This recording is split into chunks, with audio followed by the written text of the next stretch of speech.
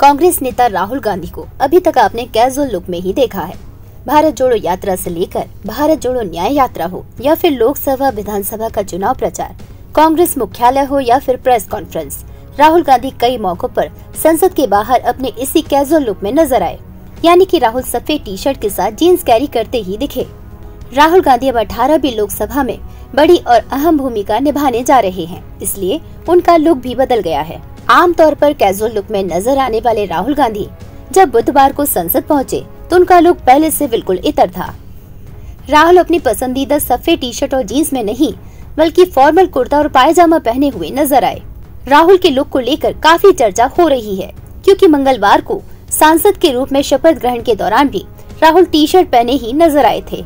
दरअसल राहुल गांधी अठारहवीं लोकसभा में विपक्ष के नेता होंगे, इसकी जानकारी प्रोटम स्पीकर भर्तृहरि मेहताब को भेज दी गई है। राहुल गांधी को विपक्ष की ओर से इतनी बड़ी ज़िम्मेदारी मिलने के बाद वे संसद में धीर और गंभीर दिखे।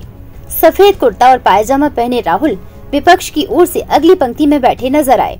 आपको बता दें कि नेता प्रतिपक्ष का पद बेहद महत्वपूर्ण होता है और कैबिनेट मंत्री स्तर का पद होता है। विपक्ष के नेता संवैधानिक पदों और संसदीय समितियों में नियुक्तियों में महत्वपूर्ण भूमिका निभाते हैं।